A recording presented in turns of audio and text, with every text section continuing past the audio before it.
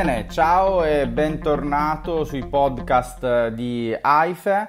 E oggi parliamo di come mettere bene a fuoco con la tua fotocamera.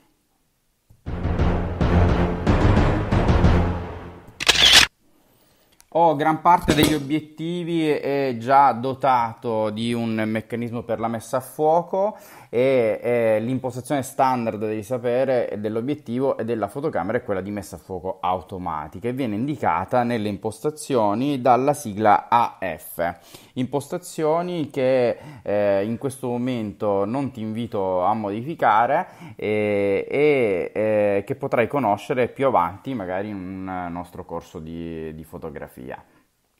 L'uso della messa a fuoco automatica eh, devi sapere che permette, grazie alla semplice pressione a metà corsa del pulsante di scatto, di avere correttamente a fuoco il soggetto che ci interessa eh, ma purtroppo questa cosa non funziona sempre e a volte si rischia eh, veramente di impazzire, eh, soprattutto se si è alle prime armi e non si conosce bene ancora il meccanismo della messa a fuoco o l'area di messa a fuoco. Solamente in questi casi in cui fallisce voglio darti dei consigli eh, su come eh, mettere bene a fuoco e come utilizzare la messa a fuoco manuale, ricordandoti poi naturalmente di eh, riposizionarla sull'impostazione impostazione automatica o è chiaro che in questo caso, nel caso della messa a fuoco manuale, la perfezione della messa a fuoco è assolutamente delegata alla tua vista, quindi spero che tu ci veda bene.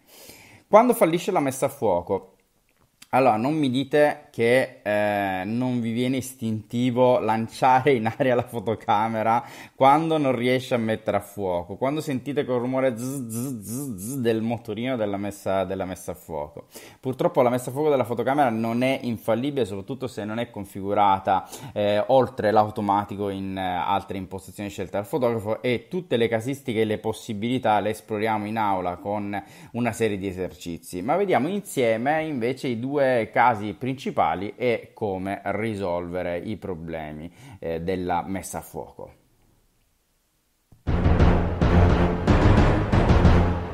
Intanto ti ricordo che se vuoi padroneggiare la messa a fuoco e conoscere tutti gli aspetti della, legati alla fotocamera e alla fotografia, puoi scoprire il programma del prossimo corso di fotografia, che sono due giornate di formazione, tantissime uscite fotografiche a sole 99 euro.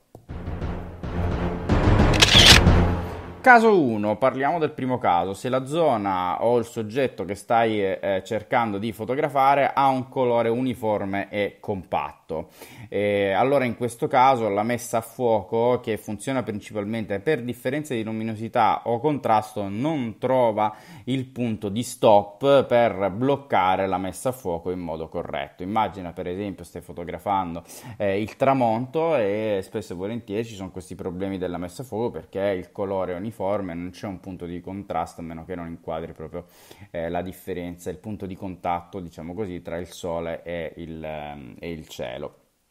Oppure se stai fotografando magari qualcosa di compatto, di unico colore, non so, un oggetto di colore rosso piuttosto che verde, o qualcuno che ha addosso una maglietta che eh, stai cercando di mettere a fuoco. Allora, in questo caso, naturalmente eh, la messa a fuoco non funzionerà e il modo migliore per risolvere il problema è passare alla messa a fuoco manuale, che è indicata dalla scritta MF, M di Milano, F di Firenze. Quindi devi andare nelle impostazioni della tua fotocamera, andare a cercare dove c'era scritto AF, eh, fare un clic su questa scritta e eh, scambiare questa scritta AF con la scritta MF. In alternativa, se il tuo obiettivo è dotato di una levetta laterale con scritto AFMF puoi spostare la levetta da AF a MF ricordandoti poi dopo lo scatto naturalmente di rimettere tutto a posto.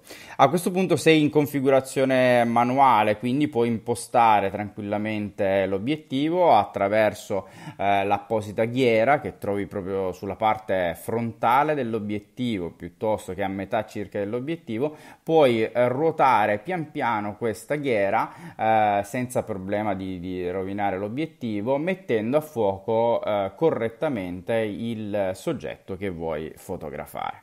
Vediamo il secondo caso. Secondo caso, eh, se il soggetto o la scena invece è troppo poco illuminato, l'illuminazione cambia rapidamente. Non so, ad esempio in un concerto eh, capita spesso che l'illuminazione cambia costantemente o il soggetto che vuoi riprendere è poco e scarsamente illuminato, allora in questo caso il problema è simile al precedente, sentirai un rumore fastidiosissimo eh, del motorino della messa a fuoco, ma nessun risultato positivo, anzi se forzi lo scatto la fotografia verrà sicuramente non a fuoco. Come risolvere? Puoi attivare la luce pilota, per esempio, della tua fotocamera se il soggetto che stai riprendendo è abbastanza vicino ad essere illuminato da questa luce pilota e lo trovi nelle impostazioni, nel manuale della macchina fotografica, basta cercare luce pilota. Oppure l'alternativa è quella di prima, passare alla modalità di messa a fuoco manuale e regolare attraverso il tuo sguardo la corretta messa a fuoco della fotocamera. Ulteriori approfondimenti ti eh, rimando al nostro sito piuttosto che al prossimo corso di fotografia e sono certo che non sbaglierai più uno scatto nella messa a fuoco. A presto!